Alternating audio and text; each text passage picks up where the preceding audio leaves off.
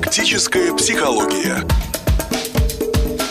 Здравствуйте, в эфире программа «Практическая психология» в студии практикующий семейный психолог Надежда Бушмелева. А сегодня у нас в гостях Марина Валикжанина, врач-косметолог, кандидат медицинских наук. Здравствуйте, Марина. Здравствуйте. И тема нашей программы э, «Любовь к себе». Э, да, и именно для этой э, темы я и пригласила вас, потому что очень хотелось бы поговорить о любви через призму косметологии.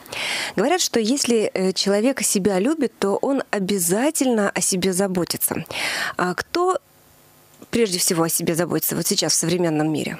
Как вам кажется? А, если мы будем говорить о половой принадлежности, конечно, на себя больше обращает внимание женщина. Угу. Но есть и мужчины, да? Есть, да. Есть. И причем, мне кажется, и что причем с каждым, с каждым годом... годом это процент э, мужчин, которые посещают салон красоты, он увеличивается. Угу.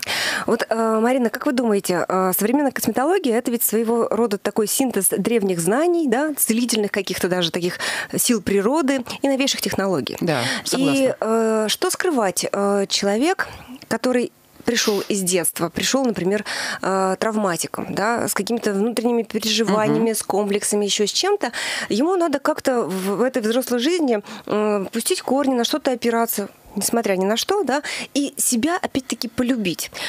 Очень хорошая поговорка есть, и мне она очень нравится. При любой непонятной ситуации иди к косметологу. Ну да, знаете, я как бы согласна. Еще очень люблю добавлять, что тот, кто ходит э, в салон красоты, он реже ходит э, в клинике. Это действительно так. Дело в том, это что... статистика, да. которая сказана не нами, а с большой трибуны. Поэтому и на самом деле, если мы со стороны психологии будем разбирать, то на самом деле те люди, и даже когда мы спрашиваем клиентов, они начинают говорить о том, что как я только начал посещать э, салон красоты, я забываю о болезнях. Угу. А, мало того, вот я пока готовилась к программе, нашла исследование, э, где говорилось о том, что человек, который регулярно ходит на косметические процедуры, процедуры, у него выше самооценка, также он э, лучше себя чувствует, и в течение, там, э, исследование проходило в течение 15 лет, э, практически не чувствовал себя несчастным. Тоже согласна. То есть... Но это практически та же самая фраза. Кто ходит в салон красоты, тот реже посещает клиники. Угу. Вот поэтому мы с вами сейчас попробуем разобраться, зачем же идут к косметологу. Здесь несколько причин. Первая причина, которая побуждает э, прийти к косметологу, вернее, так скажем, что это зависит от возраста. Угу. Если это будет молодой возраст, то это все же, знаете как, не отставать от общества. Ну, это, да, не, некоторой моде. Э, сейчас э, с каждым годом увеличивается посещение косметологических э, как бы, процедур только потому, что все вокруг ходят туда. Угу. Если то есть все будет... ходят, им да, не надо, да, да? Да, да, да. Даже если у меня пока еще нет проблем, то я пойду, ну, потому что все ходят. Или это работаем добавляет... на опережение. Вот. Это, это добавляет, э, это, сейчас мы тоже об этом угу. поговорим, это добавляет некую статусность, статусность угу. как бы.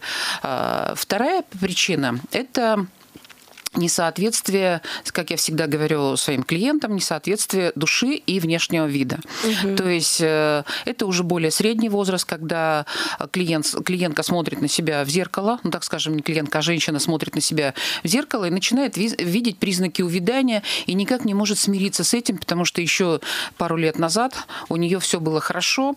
И вот это несоответствие тоже приводит э, Кабинет косметолога. Кабинет косметолога. Вот. И третья причина, которая, да, это посмотреть на, допустим, свою маму и сказать, да, я не хочу, я хочу задержать этот процесс, и я не хочу, чтобы у меня появлялись ранние морщины, или я хочу, чтобы у меня оставалась красивая фигура, и поэтому я начинаю как можно раньше угу. ходить к косметологу. Угу, угу. Хорошо. А мужчины для чего идут туда? Эти же причины или у них есть еще какое-то такое отличие от женщин? А, мужчины, вот как мы уже вначале сказали, что процент с каждым годом увеличивается, и сейчас а, увеличивается число мужчин, которые э, любят себя, угу. любят свой внешний вид и которые хотят поддерживать этот внешний вид. И второй вопрос, втор, вторая причина, э, тоже когда мужчина уже достаточно зрелого возраста, э, тоже несоответствие души и внешнего, угу. внешнего вида. Еще вчера, о, тоже, когда готовилась к программе, посмотрела, э, я почему-то всегда была убеждена, что на э, хирургическую э, косметологию э, чаще всего ну, решаются женщины женщины. и была удивлена, что 45% мужчин, такая цифра прямо, да, 45% мужчин, вот из этих 50, угу. из, из 100 получается. Угу. Почему-то мне казалось, что ну, процентов ну, 10, но остальное все-таки прерогатива наша, и мы тут что хотим, как краим, так и как хотим, так и нет. Вот меня вот это удивило. На самом деле мужчины э, очень часто обращаются к таким процедурам, как блефаропластика. Угу. Это э, как бы проблема, которая у них чаще всего встречается, нежели чем у женщин. Угу. И причина в чем? В том, что женщина делает всевозможные процедуры, и у нее этот возраст оттягивается, а мужчина вдруг э, лет в 45-50 замечает, что у него очень ярко выраженные грыжи нижнего века и как бы обращается к хирургу. Угу. Угу. Поэтому здесь процент, он может быть даже выше, чем вы как бы сказали. Угу. То есть получается, что женщина так постепенно-постепенно, да, да, а да. мужчина сразу же на а кардинальные да, мужчина чаще, решается, чаще, да? да, вот он вдруг увидел, что он так мгновенно постарел, и он уже идет к хирургу на блефаропластику. Угу. То есть это основная, как бы, э, если мы из, этих, из этого процента, то это основная причина, угу. которая ведет мужчину к, к именно к пластическому к хирургу. хирургу. Спасибо, Марина. А, вот вы уже много-много лет работаете э, с людьми, которые приходят к косметологу и ждут какого-то чуда. Вот каждый раз, когда э, мы приходим к вам, э, мы все равно хотим, это как, знаете, парикмахер, да, мы пришли к парикмахеру и сказали, вот измените меня вот в одночасье, да, вот тут то же самое, вот сделайте мне что-нибудь такое, чтобы я прямо посмотрела потом в зеркало и опять себя люблю. Да? Вот часть, вот это толика чуда, мы имеем право на это рассчитывать? На сегодняшний день очень сильная косметология, которую реально можно привести к чуду. Угу. Если грамотный косметолог, то как бы у него в руках можно просто сделать расцвести. расцвести. И э, как мы говорим, допустим, сколько вы хотите лет минус, э, и если хотите 5, вот процедуры будут такие, такие, такие. Угу. Если вы хотите минус 15, значит, я вам рекомендую вот такой план лечения. И на сегодняшний день а, косметология становится является очень мощной, эм, мощной отраслью в медицине, медицины, и женщины, в общем-то, довольно долго могут оставаться молодыми. А так как мы живем в очень современном мире, в очень быстром мире, и женщина очень долго остается эм, ведет активный образ жизни, долго работает, у нее там есть свой бизнес, э, у нее... Э, то есть женщина сейчас не так стареет, как нежели там, допустим, 15 лет тому назад. Угу. Вот даже смотрим фотографии, например, да, у родственников. Вот мама там в 30 6 лет, да, и я в 36 лет. Она говорит, ну посмотри, что, да, почему? Ну, то есть она уже была такой женщиной. Женщиной вот. такой, да, уже. А вы девушкой.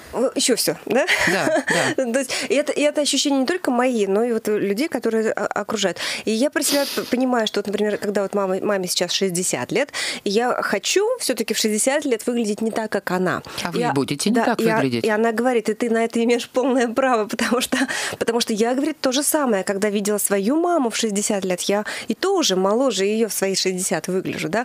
То есть получается, что вот это какая-то грань и вот переход вот в эту вечную девушку, да, вот не вызывает ли вот это у клиентов состояние психологического внутреннего конфликта? То есть вроде бы мне уже по возрасту там 60 лет, к примеру, там, да, и я такая должна быть, как вот мы бабушек в деревнях видим, да, знаете, так бабушка, платочек, там, да, как-то вот все вот что-то такое из архетипии какой-то, да, а тут мы видим 60-летних женщин, которые на самом деле не думают, ну, они, может, и думают, но они не подают виду, и, и это не видно, да, что впереди какая-то такая мудрая старость. Сейчас э, мы очень много общаемся. У нас очень э, большой процент среди наших клиентов вот именно таких женщин. Угу. И знаете, как бы общаясь с ними, им в душе 35. И они хотят выглядеть, э, ну, в общем-то... На этот возраст. На этот возраст, угу, да. Угу. Вот. Если женщина правильно относится к своему телу, к, своим, к своему лицу, и есть соответствие между телом, лицом, волосами, ну то есть ухоженная женщина, угу. то она имеет право быть, чтобы ей э, с виду давали 35. Угу. Единственное, что это все должно быть гармонично. То есть вот, вот это не было, чтобы вот этих перекосов, когда пытаемся с помощью То... коротких юбок да, или да, еще да, чего-то, да, да? да? То есть э, если, например, э, допустим, захотелось одеться как в 35, угу. но тело уже не соответствует Этому действительности, возрасту? да, угу. то тогда это немножко ну, давайте мягко скажем, некрасиво, вульгарно. Угу. Вот. А если женщина ухоженная, следит за собственным телом, у нее плотное, эластичное, красивое тело, у нее красивая кожа лица, у нее ухоженные волосы, и вы ей на самом деле не дадите ее возраст. То поэтому, почему бы и нет, да? Ну, это даже не просто почему бы и нет, а это просто нет. Нет. Однозначно, угу. потому что общаясь с, с людьми данного возраста, я, в общем-то, всем бы сказала, что это э, вот когда к нам приходят на прием и озвучивают свой возраст, я говорю о том, что, знаете, как бы первая причина, которая вас привела к нам, это несоответствие между душой и телом. Угу. Значит, мы над чем должны поработать? Душа до сих пор осталась молодая, душа еще хочет работать, творить, э, вести активный образ жизни, ездить э, в путешествия. Наслаждаться. И, да, но когда она смотрит на себя в зеркало, она и говорит, вы знаете, как бы вот я бы еще много чего хотела, но я хотела бы выглядеть немножко по-другому. Я говорю, знаете, это, это просто отлично и замечательно замечательно. И расписываешь ей программу. Угу. И, вы знаете, как бы здесь нет никаких проблем. Здесь самое главное желание женщины, желание клиента. Угу. Поэтому на сегодняшний день это все возможно, и меня всегда это приводит в восторг и только радует. Марина, а вот бывают такие случаи, э, ну, по крайней мере, описывается в литературе, да, а были ли в вашей практике? Приходит, например, девушка, дев, девушка или женщина, не будем тут говорить про возраст, да, но э, с таким запросом, что я себя не чувствую красавицей, сделайте меня красивой. И вот э, знаю, что э, всегда если такие запросы, например, э, в Германии происходят, да, то это всегда проходит через психотерапевта. Да? У нас а, как, как вообще вот эта процедура проходит? То есть, например, я хочу кардинально изменить внешность свою. А, смотря ведь, смотрите, что мы под, э, как бы подразумевают под, под этой кардинальностью. Угу. Ведь иногда, когда смотришь на лицо, и когда ты тоже как э, художник, допустим, видишь, что ей не хватает для яркой внешности, ей просто природа дала дала маленькие узенькие губки. Угу. И ты вот смотришь и говоришь, вы знаете, как у вас такие красивые глаза, у вас хорошо ярко выраженные скулы, и вам просто у вас несоответствие, которое вам дала природа, и ей может быть и 25 лет. Угу. И, и понимаешь, что ей только добавить чуть-чуть объема в губы, объема в губы угу. и она себя будет любить так же, как все остальные. Угу. Поэтому это нормальный запрос, это не надо ее отправлять к психиатру. Угу. Вот. Либо ей не нравится, что у нее нос с горбинкой, то тоже это поправимо. Даже к хирургу не надо ходить.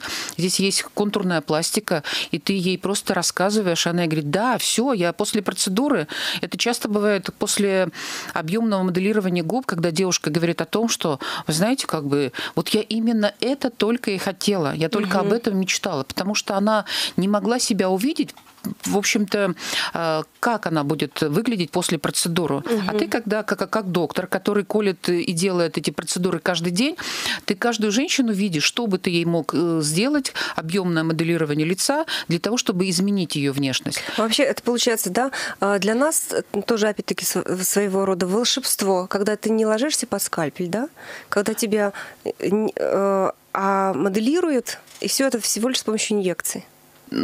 Сейчас хирургическая косметология за счет того, что очень развивается терапевтическая косметология, угу. она немножко уходит в более поздний период. Если угу. раньше в 45 лет уже начинали оперировать, угу. то сейчас э, это просто удел уже более позднего возраста. Угу. Я не говорю, что этим не занимаются, э, это надо делать, но просто не надо торопиться, не надо в 35 лет ложиться под нож э, пластического хирурга, если это все еще можно сделать терапевтическим путем. Угу. Бывают ли такие случаи, когда к вам приходит клиент, говорит, я вот хочу вот это, это, это, и прямо вот только это я и хочу, там, изменить в себе, и вы начинаете отговаривать человека, что вот можно попробовать другими способами это решить. А, практически это бывает каждый день, день, когда клиент, э, особенно это девушки молодого возраста, угу. когда она говорит о том, что я хочу очень большие губы, угу. и я говорю, вот понимаешь, что мы этим занимаемся каждый день, я могу тебя уже образно видеть с этими большими губами, но сейчас это не актуально и не модно. Сейчас э, те губы, которые были пять лет тому назад, сейчас уже крайне редко встречаются. Угу. Когда раньше заходили сначала губы, а потом заходила обладательница этих губ. Угу. Сейчас все же э, мода немножко меняется, и сейчас э, косметология должна быть очень естественная. Мы должны придать лицу красоту, шарм, неповторимость, но это не бросалось в глаза, что здесь были руки косметолога. косметолога. Поэтому мы очень часто меняем внешний вид, клиент встает и говорит о том, что я уже влюблена в себя, угу. я именно это и хотела. Ну, допустим, был совершенно недавно такой случай, когда э, женщине, ей 60 с лишним лет, и у нее была встреча, э, ну, может, одноклассников, может быть, э, однокурсников, и она говорит о том, что мы очень давно не виделись, и вот я хотела бы прийти на эту встречу, и мне бы хотелось э, выглядеть немножко не так. Но так как у нас времени было очень мало, я говорю, вы знаете, как бы давайте сделаем, мы сейчас немножко смоделируем ваше лицо, уберем кисетные морщинки, добавим немножко объем губ, и ваше лицо уже будет совершенно выглядеть по-другому. Потому что все же кисет э, и маленькие губы, это да, это признак возраста. Угу. И, в принципе, мы сделали процедуру, которая ну, достаточно недорогая по цене, и наша женщина встала и сказала, невероятно, но я сама себе нравлюсь, я сама себя уже да? люблю. Вот То это... есть как мало надо сделать для того, чтобы изменить э, внешность и чтобы испытать вот это, знаете, как бы чувство удовлетворенности, угу. чувство эйфории, чувство того, что я себя люблю и нравлюсь. Отлично. А вот я тоже к косметологу хожу именно за этим чувством. И вообще ведь, э, смотрите, как бы на самом деле вот очень часто приходят, особенно когда женщины приходят немножко постарше, которые уже ходят в поликлинике, приходят и говорят, что в косметологической клинике другая атмосфера, другая аура. Угу. Что здесь вот, э, несмотря на то, что там тоже работают доктора в белых халатах, но там отношение другое. Там э, начинается все со встречи. Угу. И располож... рас... располагающая обстановка, приятная э, атмосфера, атмосфера угу. э, любящие руки доктора. И к тому же вот. перспективы, да, потому и... что всегда выходишь все равно другой, чуточку другой. Ну и потом даже если просто сделать массаж угу. лица, который угу. добавит и релакса, и положительных эмоций. И когда человек встает и уходит, он говорит, знаете, я так отдохнул у вас. Я говорю, конечно, потому что ведь вы как приходите в поликлинику? Вы уже начинаете крутиться в атмосфере, где жалобы, где очень много отрицательной энергии. Угу. И поэтому вы приходите из поликлиники, вы говорите, что я даже не работал, но я так уже устал, угу. потому что, угу. э, ну вот даже только находясь вот в этом во всем, ну, к сожалению, наша угу. медицина угу. пока еще вот такая, вот, а в кабинете косметолога там другое отношение. И поэтому там уже, знаете, как там только со входа начинается ощущение счастья. Счастье. А уж если после процедуры, если э, грамотно выполнена процедура. И ведь косметология это целая наука, где люб, любые разработчики, они создают программу, угу. которая уже начинается с приятных запахов, с, с красивых баночек, э, с теплых нежных рук косметолога, которая приводит к завершенности вот этой процедуры и мы говорим, невероятно, но я так отдохнула, я счастлива. Угу. Поэтому я, в общем-то, э, говорю о том, что каждая женщина должна э, любить себя, и хотя бы, даже если недостаточно, допустим, там средств, то массаж лица хотя бы раз в месяц для вот э, такой Общего вот, тонуса, как бы, да, да, да, то, время, тоже да. любая женщина может себе это позволить. Угу. Согласна с вами. Марина, а давайте немного поговорим не только о женщинах, но и о мужчинах. Да? А, все чаще, например, я, когда прихожу косметологу, все чаще встречаю э, мужчин, которые такие же счастливые, как и я, потом выходят от косметолога. Да? Причем э, мужчины разного возраста, там, начиная там, с 25 лет, ну, по крайней мере, я вижу, да, и, там, и, и, и заканчивая там, 60 и даже 70-летними ребятами. Так вот, э, за, за, за этими же ощущениями мужчина идет. А, вы знаете, как бы э, вот я всегда говорю, мужчины это тоже люди, угу. поэтому они тоже имеют право быть э, счастливыми и удовлетворенными. Поэтому я думаю, что э, те же самые ощущения они испытывают. Очень много мужчин ходят на уходовые процедуры по лицу. Угу. Иногда мужчины делают и объемное моделирование. Поэтому... Но еще радует то, что как-то с каждым годом все больше и больше мужчин, которые ухаживают за собой, да? Это нормальное явление э, ухаживать за собой любить себя. Итак, поговорим о таком явлении, как метросексуалы. Мужчины, которые любят себя, которые великолепно, э, которые следят за модой, которые великолепно выглядят. Э, как вы думаете, их с каждым годом будет все больше и больше? Или же этот тренд уйдет, сойдет на нет? Нет, я думаю, что их будет больше. Угу. Просто здесь немножко, когда мы называем, когда мы произносим это слово метросексуал, э, некоторые немножко, может быть, его неправильно понимают. Э, считают, что это мужчины, которые чересчур э, уделяют большое внимание своей внешности. Угу. Но это нормальное явление, э, тогда, когда... То есть сейчас уже не моден тот образ э, того матча, который э, был неухоженный мужчина, э, допустим, сальные волосы, там, сигара. Рваная майка. Да, да, да, угу. да. То есть рваная майка, она может быть, потому что имеет место быть, угу. потому что это сейчас, знаете, как бы некий тренд моды. Угу. Но она должна быть не от того, что она уже изношена, и дырки появились, например, там под мышками, а это некий тренд моды, рваная джинсы, рваная майка. Угу. Вот. Это может быть и признаком ухоженности.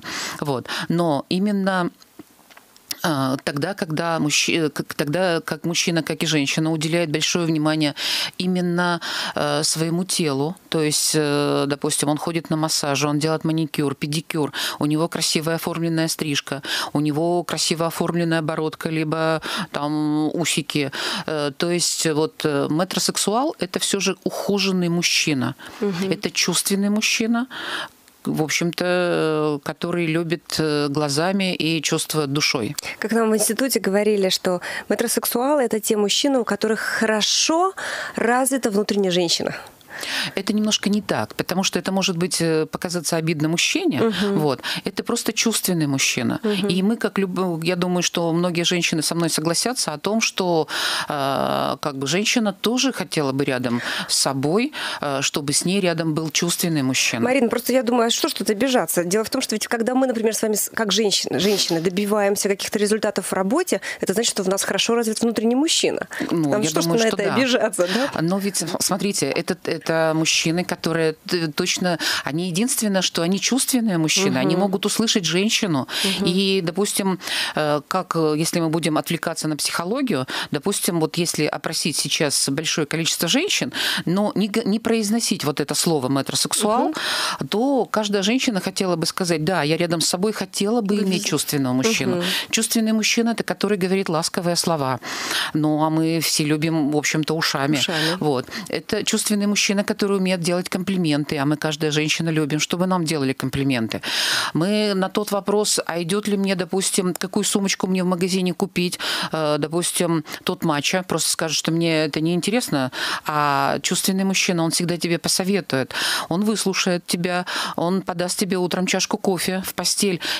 Чем плохо иметь рядом такого мужчину? Я считаю, что любая женщина была об этом бы... Мечтает, вот, да? об этом мечтает. Угу. Поэтому этот термин, он э, был введен в 1994 году, и назвали его, это слово составило, составило из двух слов. Угу. Это метрополитен и сексуальный. Угу. То есть, э, э, как бы, но кто-то, может быть, путает его с мужчиной нетрадиционной ориентации. Угу. Нет. Угу. Это хорошая, чувственная мужчина, которая умеет следить за собой. И любой женщине неприятно увидеть мужчину и обернуться, если рядом как бы приятный парфюм, угу. ухоженность. То есть вот признак э, мужчины э, с таким названием. Ну и все же это начинается все-таки от любви к себе, правда?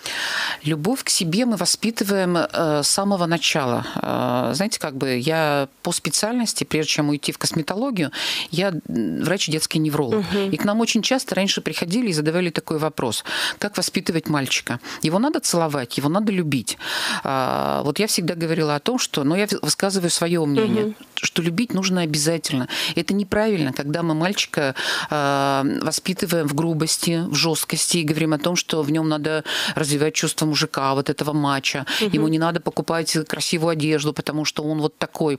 Но я всегда говорила о том, что его любить еще нужно больше, чем, чем девочку. девочку. Его нужно целовать. Тогда вы, вы воспитаете ласкового мужчину, угу. которого этой ласки хватит и на маму, и на э, женщину, которая будет а рядом потом с ним. на дочь, вот. если будет. Конечно. И угу. поэтому э, вот именно когда в семье э, очень много любви при воспитании этого мальчика, вот там и вырастают чувственные мужчины. И поэтому Любящие он... себя и этот мир. Да, и это не кто-то особенный, который пришел в мир не таким, угу. а просто этот э, ребенок, который воспитывался э, в любви, которому семья дала достаточно много любви. Uh-huh. И поэтому у него есть любовь к себе, к собственному телу. И поэтому этот человек, который э, идет в салон и не дожидает тогда, когда у него будет грыжа позвоночника, и он придет на массаж только уже по проблеме, а он будет следить. Ну, иногда бывает немножко, знаете, как бы любое чувство может быть гиперразвито. Uh-huh. И когда, допустим, у ухоженного мужчины, но когда он начинает любоваться собственным телом и любоваться чересчур, вот тогда может быть, но ведь, знаете, как бы это есть и у женщин. Это, это есть, есть у, женщин. у всех. И Проявление поэтому, нарциссизма, да? Вот. Поэтому, но это немножко разные uh-huh, термины. Поэтому, uh-huh. э, допустим, метросексуал, я говорю, что это чувственный мужчина, который чувствует душой и любит глазом.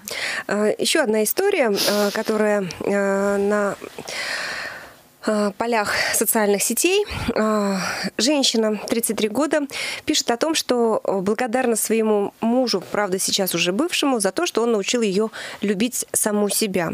Когда мы встретились, я не знала, что такое заботиться о себе. А он мне сказал одну очень простую фразу. Если ты не умеешь заботиться о себе и любить себя, значит, ты не сможешь любить никого больше. И тогда я поняла, что значит и развернулась в свою сторону. Вот смотрите, иногда через при встречах, да, мы ну, живем, живем на, на уровне там еда, э, питье, встреча, э, работа, учеба, еще что-то, да, но не, не, не разворачиваемся. А что там внутри меня происходит, чего я на самом деле по-настоящему хочу, о чем я мечтаю, и вообще как это все осуществить. Э, вот эм, в вашей жизни были люди, которые вам сказали, Марина, вот э, делай так, и это тебя приведет к успеху. Ну, по жизни много было таких угу. людей. В общем-то, благодаря им мы развиваемся, да? Мы пришли к успеху. Мы пришли к успеху. Отлично. Так вот, а, где, где вот та самая формула любви э, себе. Расскажите мне Смотрите, ее. Смотрите, вот тут вот в этой истории есть некий стереотип, который складывается у нас, ведь мы этот стереотип берем, в общем-то, очень много из семей. Угу. То есть, когда девушка выходит замуж, она ведь как думает, что самое главное это накормить своего угу, мужчину. Угу. И это неправильно, когда мы говорим, что путь к мужчине лежит только через его желудок.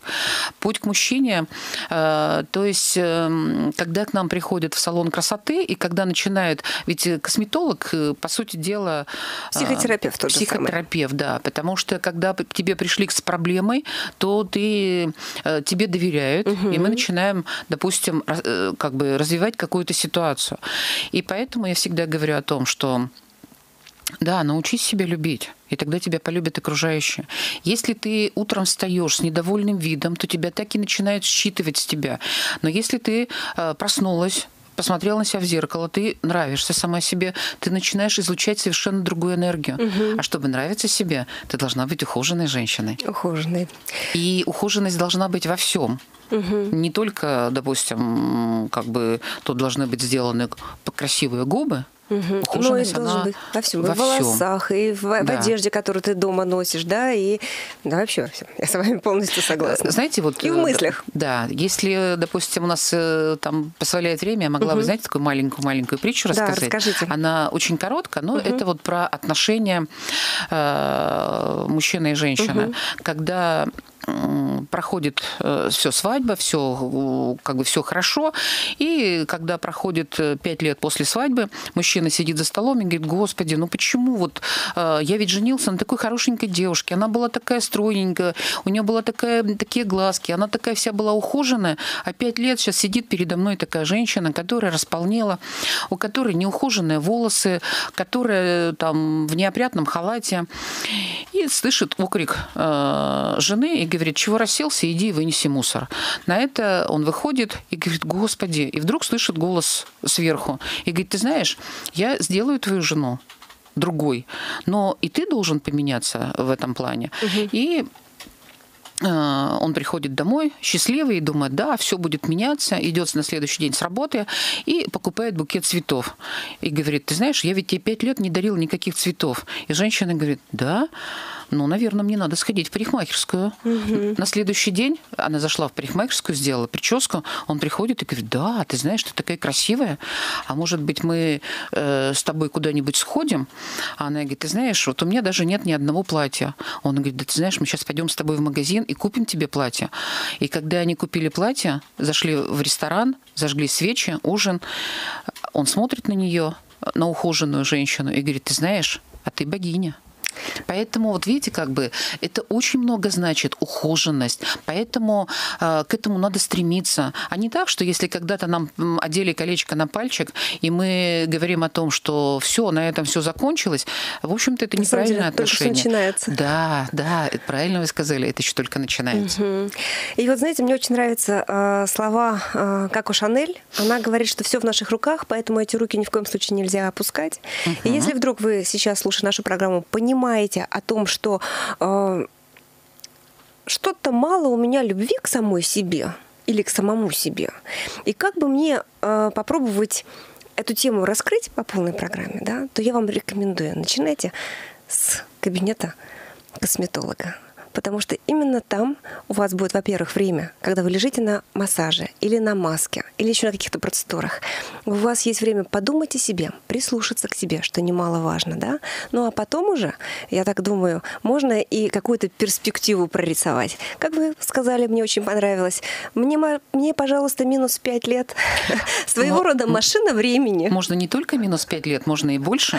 Единственное, что в рекомендациях, просто нужно попасть к хорошему косметологу, и все же это должен быть доктор, это должна быть хорошая клиника, потому что там результаты, как правило, гарантированы. Вот э, Пожалуй, на, эту, на этой ноте мы с вами и завершим. А, спасибо вам большое за такую интересную программу. И, наверное, всем нашим слушателям мы пожелаем, опять-таки, любви к себе, трепетного отношения к своей душе и к своему телу, да, и долгих-долгих лет жизни. Присоединяюсь. Практическая психология. Имеется противопоказание, проконсультируйтесь у специалиста.